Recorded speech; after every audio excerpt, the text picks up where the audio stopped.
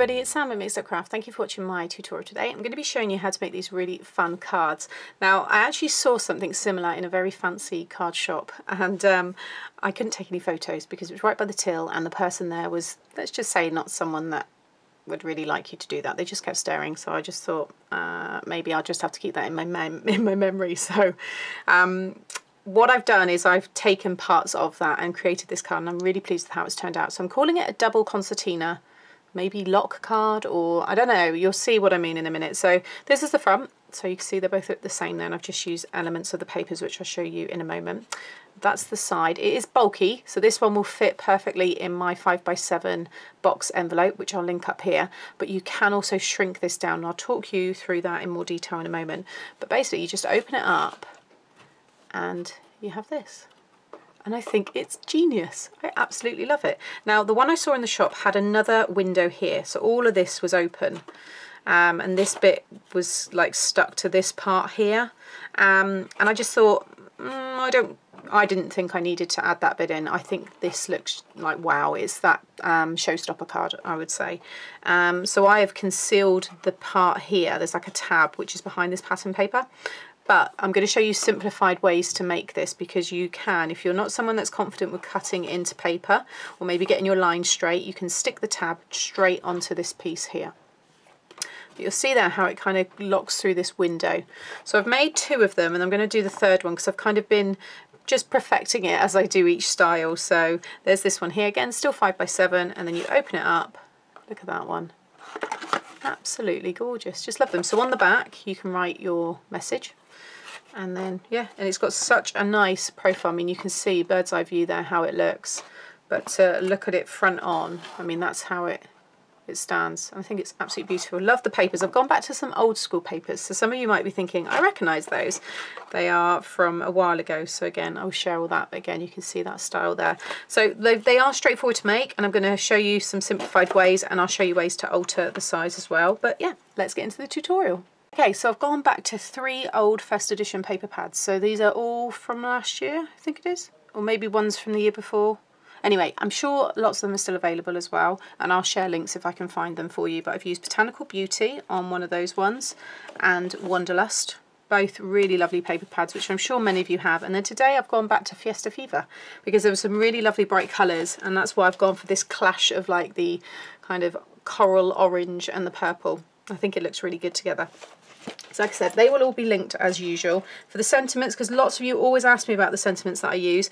Beautiful big one, I use this a lot and I've, I've shared, um, you know, um, this one a lot. It's just such a handy one and it's the Card Making Magic by Christina Griffiths. So you've got your happy birthday there, lovely big one and then inside I've used that one there to a lovely friend on your special day which is this one down here and then the happy birthday is from the new Landmark Occasions collection, again by Card Making Magic, and it's the 72 piece months die set, and within that you get the Happy Birthday. So that's what I've used um, for those ones. Okay, so I'm going to get straight into the card base. We'll go through all the mats and layers and bits and pieces like that as we get to it because like I said it's not hard to do but there is a lot to it so you want two pieces of cardstock that um sorry you want one piece that's 10 by 7 okay and you want to score along the 10 inch side at 5 inches. So this is really just a card blank, but because I the next one needs to be slightly bigger, I had to use my 300 GSM cardstock. And then you just fold it in half, just so you've literally got a 5 by 7 card blank. All right, so that's a straightforward one. This one is the same, but you've got an extra half an inch on it. So this one is 10 and a half by 7. And along that 10 and a half side, you want to score at 5 and 10. And again, just fold and burnish those score lines. Okay, we'll probably do it that way actually. So you might want to score that score line on both sides because you're going to flip it back and then basically that is going to stick behind that front one. So we've got that concertina fold. Okay, so that's all that is right now. It's just, you know, again, very straightforward. And then we will talk through I'll give you the measurements for the, the inside piece. So this one here is a piece of 11 and 3 quarters by 4 inches. Now this is the piece that you can alter. So if you've got 12 inches, you can use that. I'm going to give you the measurements. And if you, I think you could even do this with 11. So if you've got your letter paper size, I'm sure you can do this. So it just means the card won't pull out as much. It would just be, well, it's only going to be three quarters of an inch difference to what I'm using. But what you can do, so whatever length you've got, they all need to be that four inches in width, but whatever length you've got, you want to score at half an inch and two inches, flip and do half an inch and two inches, and then find the middle point of whatever length it is that you've got. Okay, so for me here with the 11 and 3 quarters, I'm scoring at 5 and 7 eighths. If you've got 11, you'll score at 5.5, and and if you've got 12, you'll score at 6. Okay, so hopefully that's kind of um, solved any questions. Sometimes people ask me those questions like, could I use this length paper or so and so? Yes, I believe you can. I know you can do 12 because that's what I used on one of the other cards. And I know that you can obviously use 11 and 3 quarters. The 11, I'm not 100% sure, but I'm pretty sure it will be okay. With this one, you want to fold the outer and then the next one so they're both mounting. That middle one needs to be a valley. So you might want to again flip that over and score through the middle. So you've got your fold in the right direction. But now you can see how that's going to look. Then on top, also all these measurements will be in my blog, okay? So don't worry if you know about writing it all down now. But while I'm going through it, I'll give you these ones. So for the little panels on the side here, these are one and a quarter by three and three quarters so you want two so that's my purple ones. And then the red layers on top are, are three and a half by one. Okay again two of them. And then for these panels here you want two pieces in the purple which are three and five eighths by three and three quarters. And then the white is three and three eighths by three and a half. Okay Again, you can see there I've used this glitter cardstock by Papermill Direct for my happy birthday. And I've just cut out elements from that paper pad to make that. So get that all decorated and done now. And then you want to add some, just thinking which way we're going to stick that in. It will be that side. So you want to run some double-sided tape along those panels, but I'll do that in a moment. Okay, I've also gone ahead and done my front cover. So there's this one just done some faux stitching using my Posca pen, mats and layers. Again, those mats and layers I'll write in my blog. I'm not going to show you them now, but you'll see all the photos and you can just create something similar if you want to. So for these mats and layers, you will want, um, so let's just make sure I get this right. So you're going to want one, two, three, four, you want five pieces, mine are purple, right? So five pieces that are four and three quarters by six and three quarters okay one will be for the front one will be for the back and then four of them will be for the middle to cover those four panels of that concertina fold okay so I know a lot of you like to go away now and kind of pull all your papers out so you'll see one of them and then that's the back with this one and then that's the front with that one okay those will be stuck on at the very end. So I'm just sorting all my piles out now so it's all in the correct order. And then for the rest of the decoration inside, you'll want four pieces that are four and a half by six and a half. But I've changed my pattern. So I've got the plain red on the inside, which is where we're going to have that window. And then I've got that beautiful pattern on the outside here. And that's where you can, if you want, we're going to cut a slit there or you can just stick your double-sided tape on the other side and stick it directly on to the double-sided um, onto the pattern paper. All it means is you're going to see that tab, but you know you've got that on many other cards that I've made, so it's not a bad thing. But if you do want to disguise it, I will show you how we will do that. So that's all your sizes for your mats and layers. Go away, get your, you know, pause the video if you'd like to craft with me and get those papers done. And we're going to work with now two of the middle ones okay um, everything I'm going to do now just get rid of that scoreboard you will be doing twice okay? Everything I'm doing now you'll do twice. So just pretend it's kind of together I guess in a way just so you can kind of see how things are going to look. Okay so what you need now is some rectangle dies so I'm using the card making magic again seems to all be card making magic but it's worked really well for this card and it's the rectangle dies these are the stitched ones or double stitched the ones I'm using from that, if you've got it, is one, two, three, the fourth, fifth and sixth smallest okay so you'll want three dies three rectangle dies and you would you want a window that's going to be in length longer than the four inches of that piece that we're going to have feeding through okay? So this one here it's not too much bigger. I think mine's only yeah four and one eighth so there's not much um, in it at all. Let me just check. Yes definitely four. Yeah so it just sits through there but again if I show you you can see it's just sliding through there See there? So as long as it fits through, so whatever die, your smallest of those three needs to be bigger than four inches. And then the other ones just work up, which are just going to create frames. That again is optional. And this is, this is another way to have it simplified. So if you are, say you're not having a mat and a layer, so I'm going to be cutting through this purple and one of these red pieces. You, to simplify it, will just have a patterned mat and not have this piece and you might just do one frame. Once it all comes together then you'll see it will make a lot more sense.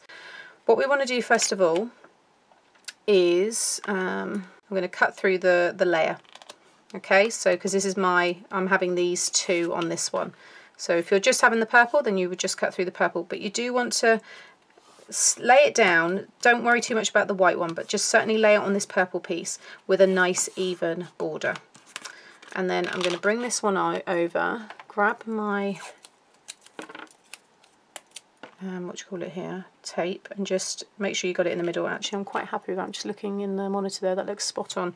And I'm going to stick that down and I'm going to dye that, um, dye that. I'm going to run that through my die cutting machine. Now also, I should have mentioned at the beginning, you will need in a minute when we go to die cut actually into this cardstock, we are going to be running it through in this orientation. So obviously the width of this is 7, so you'll need a larger die cutting machine. However, don't worry if you don't, because if you just shrink this down to 6 inches, which is the width of a, a normal, you know, Sizzix um, or Big Shot, then it will run through this way. But it won't affect the rest of the design because if you see the size of that die, well, it's just come off because it's not going to stick to that. Even if I bring that down a bit, 6 inches here, this same size die would still work and all of that bit that goes through it, everything. You'll just have to change all your mats and layers, obviously. But that's a way, if you don't have a larger die machine, don't worry, just shrink it down. So these pieces are 6 by 10 and 6 by 10 and a half, okay? So again, I'm just going to sit this on here and I'm going to die cut this one. I'm also going to do that next one for this piece because like I said, you do want to do everything twice. I'm just going to line that up again and just stick that down a bit more. So I'm just going to do that one. The next Still using that same die, grab your red piece, sit it on the purple so it's got a nice even border and pop this one back in. It will like kind of click into place, you'll feel it. Pop the washi tape on and run it through the die machine because that means it ensures that you've got it bang in the centre but it will also then only have that one piece of cardstock to cut through. So again, we want to do that on both pieces there. Okay, so now we've got these two pieces that will sit perfectly over the top. Once we finish it with our framework, it just looks really nice and finished. And they're going to go over there. So now the last one is you don't need the red, just the purple. And you're working on the inside. So this one is going to connect over this half inch tab. Which way? You've got to make sure we've got our concertina like so. Okay, so we're working on these two inner ones but you don't need the red, just the purple. Sit it on there, and again with that same die, make sure the purple's got a nice even border. Sit that in the middle, then run it through your die machine, and this is when you're going to have to put it through that way. Okay, and I'm not going to run it all the way through either, just run it through that piece and then take it out. Okay, so that's now everything stuck down, and I've just gone ahead and cut my frame. So I've used the smallest rectangle that I used to do all those windows, and then the next one up, and I've cut it out in purple so it's given me that frame. And then I've removed the smallest one and used that medium one with the next size up again. Again just pop them together with a bit of washi tape so you get a nice even frame and then cut it out in white and you want two of them. That's completely optional. There is nothing wrong with keeping your windows like that okay? So don't feel that you need to do that. Um, it's just a little extra that I know some of you will want to do. Also another thing that might be handy to do is one you've done is do this one first and then with the opening sit it over the top of this one and draw around it so you know that they're the same. Because obviously you want again this piece to thread through. You want you don't want one to be too higher than the other or something. Okay so with these ones here all I'm going to do is just pop the purple inside of the white flip them over actually pop them in there together and then I'm just using some red tape because I'm sticking it onto that um, textured surface and then I'm just going to cover it and that keeps it all together and then just pop it around the frame and and it's just that, like I said, extra little bit of detail, completely optional. So I'm just going to get that done. Okay, so that's all done. Next we want to stick these pieces together. So I'm just going to run my Collall glue down here on this tab. If you want to use double-sided tape, you want something that's nice and strong, because this is obviously the main part of the card, holding it all together. And you just want to lie it down so that you get the, obviously top and bottom lined up, but you want the fold to be um, visible. You don't want to go over that fold. Okay, now I've also just gone ahead and stuck my mats down on the two outer ones there, alright? Next what you want to do is cover them with your pattern paper if you don't want to cut into this. If you just want to stick this directly onto it like I showed you, stick them down as well. If you do want to cut into them, what you want to do next is just pretend to stick this down so you've got a nice even border. And with this piece, make sure it's all up the right way. I'm on an angle because I want to make sure you can see it and I can do this. You want to fold over the tab and that side piece, all right, both over there. This side here you want to line up with the purple piece, okay, but also you want to make sure, like so,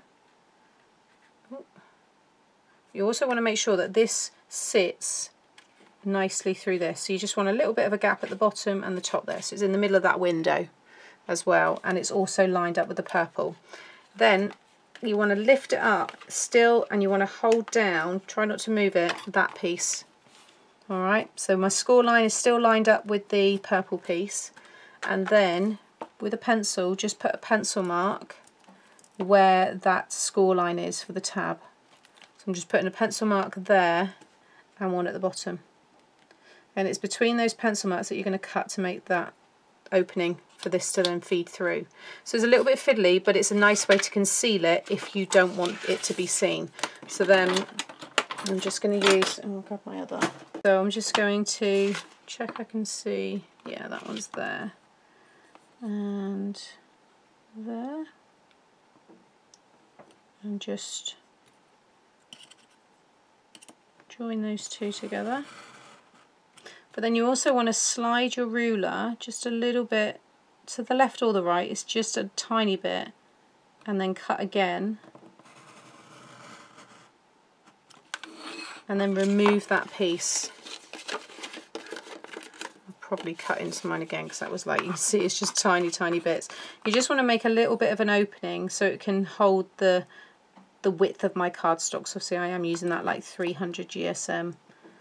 I'm just going to, that's a bit better. And then you can test it, grab that piece and you want to feed it through and you want it to fold over because we're going to stick it to the back there. And you don't want there to be any kind of like it like catch or pucker a bit which mine is.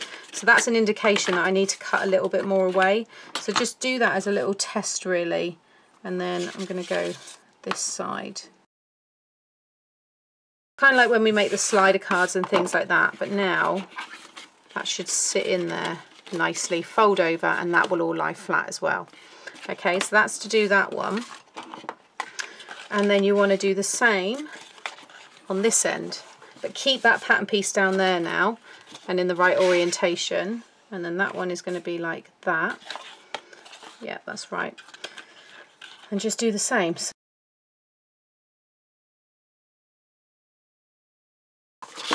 And now it's just the fun part of putting it together. So you want to put some tape, you would have probably already done it, on the inside. Then grab your one of the sides, whatever one you're working with, take the backing off, feed it through, make sure it's all lined up there. And just fold that over. Like so. And then grab your glue. And you want to cover this whole piece.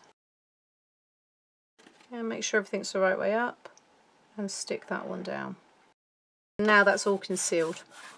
But if you haven't, then what you want to do is stick that down there. And actually, I should probably give you the measurement of where to stick it. So from the pattern paper, I've come in one and three eighths. Okay, and then stick that piece down. Then you want to feed that through. Trying very carefully not to, uh, well, I'm going to have to fold them a bit there actually. And then kind of bring the middle up so that'll give you that kind of freedom to move it around. Feed that through, take the backing off. Again, line that all up, fold it over.